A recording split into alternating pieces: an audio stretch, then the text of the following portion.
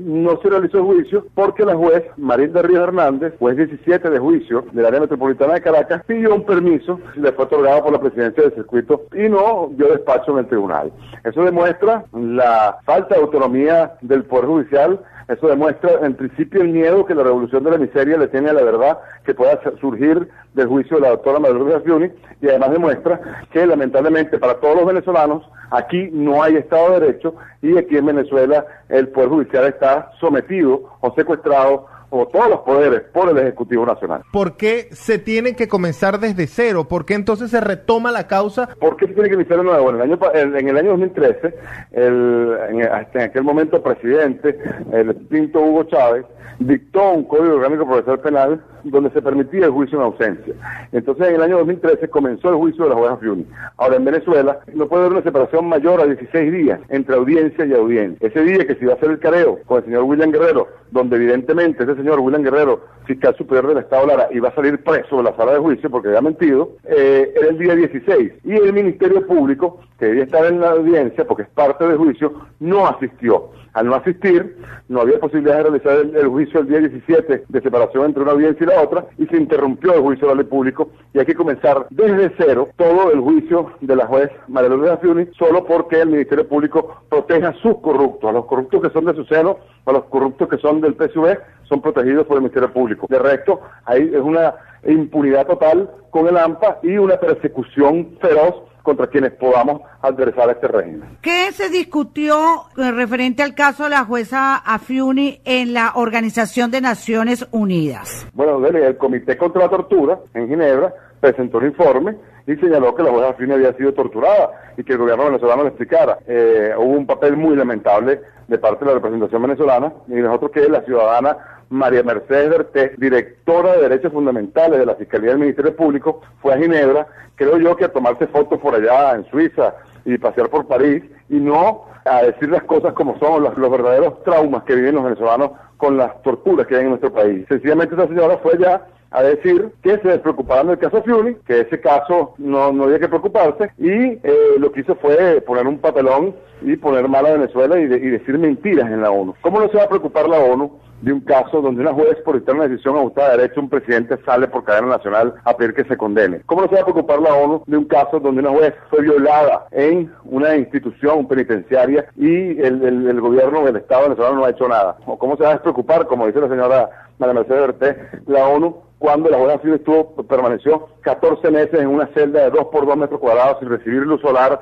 además de eso le rociaban la celda con gasolina y le decían que le iban a, le iban a, quemar viva. ¿Es o no es tortura? ¿Es o no es tortura todo lo que han hecho con la juezación y lo que hacen con los presos políticos? ¿Es o no es tortura que le lancen bolsas de excrementos a Leopoldo López, un líder político de, nuestro país? ¿Es o no es tortura que a los, a los juicios de los, de los presos políticos los difieren, cambian los jueces, no mantienen privado de libertad y se le viola todo su debido proceso? Claro que es tortura, pero lamentablemente tenemos funcionarios de muy baja calaña, como la ciudadana María Mercedes Berté, quien fue a Ginebra a mentirle al mundo o a creer que le miente al mundo, porque lamentablemente para ellos y para la revolución de la miseria, todas las violaciones de derechos humanos, todas y cada una de las violaciones de derechos humanos contra la juez Maduro de están documentadas precisamente en la Organización de las Naciones Unidas. Esta posición de la directora de Derechos Fundamentales del Ministerio Público en representación de Venezuela, María Mercedes Berté, que puso en duda la versión de la jueza María Lourdes Afiuni en relación al abuso sexual que sufrió en el retén de mujeres de los teques, ¿qué respuesta obtuvo de los funcionarios de la ONU? Bueno, la ONU lamentablemente para ellos no le creyó absolutamente nada porque la ONU tiene copia de la denuncia que nosotros hicimos a la Fiscalía del Ministerio Público, porque la ONU tiene copia de la carta que Noam Chomsky le mandó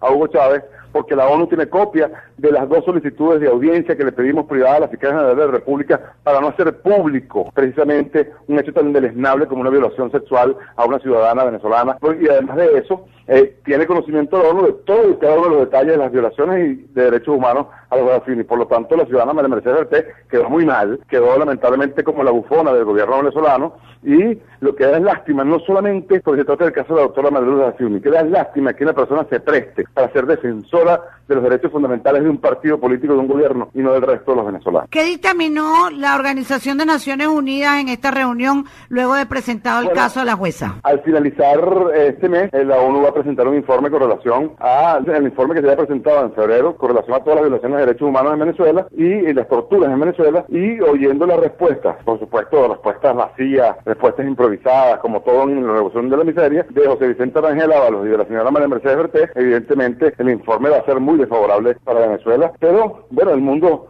ya se está dando cuenta que esto no es un, gobierno democrático, que esto no es un gobierno donde funcionan las instituciones y que lamentablemente lo que tiene son funcionarios eh, con bozal de arepa que van al exterior a decir mentiras de que ocurre en Venezuela. Pero bueno, esperemos el informe final sobre este caso, sobre, sobre las torturas en Venezuela por parte de la ONU, que debe salir a finales de este mes.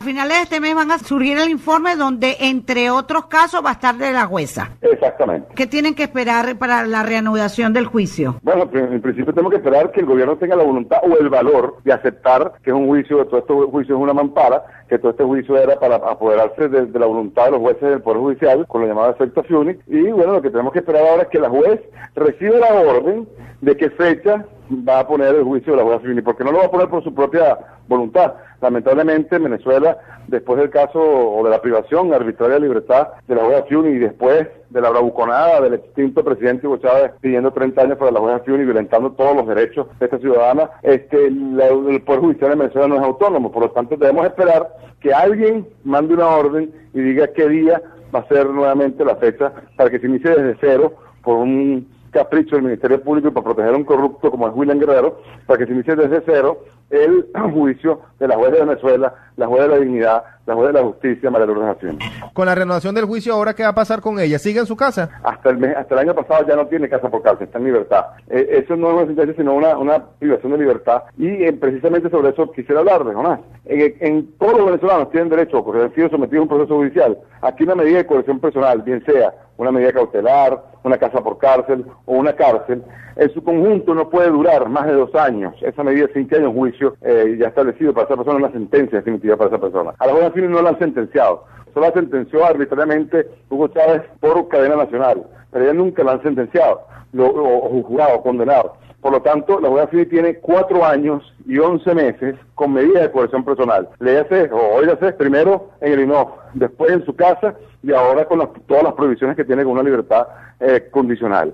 Eso es ilegal es inconstitucional y nosotros hemos pedido a la Corte de Apelaciones que revise esa medida y le otorgue la libertad plena y sin restricciones a la juez María Fiuni, pero es evidente que el gobierno tiene miedo de que la jueza pueda escribir por Facebook, de que la jueza Fiuni pueda escribir en Twitter, de que la jueza Fiuni pueda ser entrevistada por medios nacionales e internacionales y tiene mucho miedo de que la jueza vaya por el mundo a todas las invitaciones que recibe mensualmente para que explique lo que ocurrió con su caso alrededor del mundo.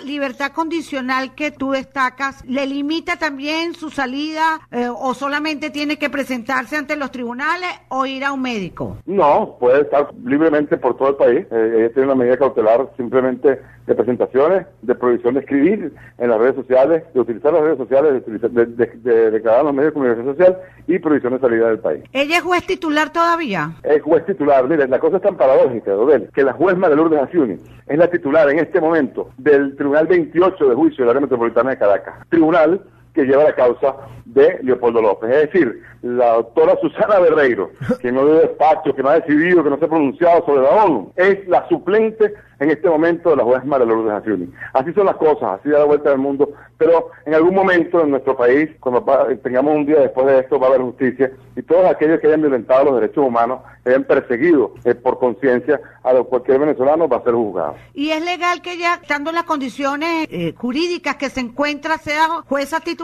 Es que ella es juez titular por concurso y todavía no han podido destituirla de ninguna manera porque no han conseguido ninguna razón jurídica para destituirla. Por lo tanto, ahorita es una juez titular suspendida del cargo porque la jueza Fini no está condenada. Recuerda que solamente lo condenó el señor extinto presidente Hugo Chávez vía canales de televisión, pero la jueza Fini no ha sido condenada. Es por eso que estamos todavía en proceso de juicio. Por lo tanto, si no es condenada, se presume su inocencia y no puede ser destituida del cargo, a menos que mediante un procedimiento disciplinario administrativo se le haya podido destituir y no se le ha podido destituir porque no hay tal procedimiento. ¿Ella le siguen cancelando su sueldo?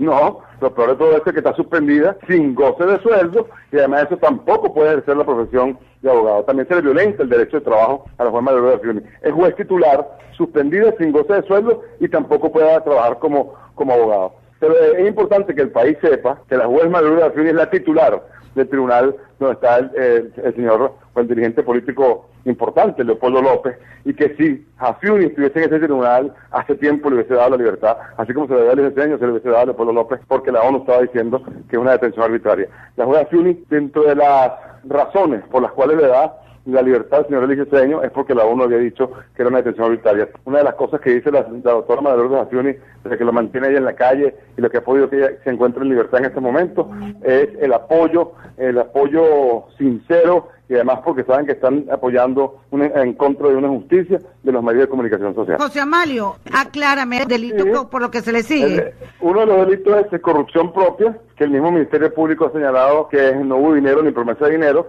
El otro delito es el delito de abuso de autoridad, delito que evidentemente es un absurdo que pueda ocurrir un abuso de autoridad cuando un juez dicta una decisión en funciones o cumpliendo con sus funciones y de acuerdo a lo que establece la ley. Y el otro favorecimiento para la evasión sería un absurdo que un juez que dicte una decisión y libere a una persona se le aplique favorecimiento para la evasión. Entonces todos los jueces que dicten una decisión absolutoria o que hagan una medida cautelar, entre ellos la juez María Río que le dio una medida cautelar a la jueza Fiuni, deberían estar sometidos a un proceso penal por el favorecimiento para la evasión. Bueno, José Amalio, muchísimas gracias por atender el teléfono y estar acá con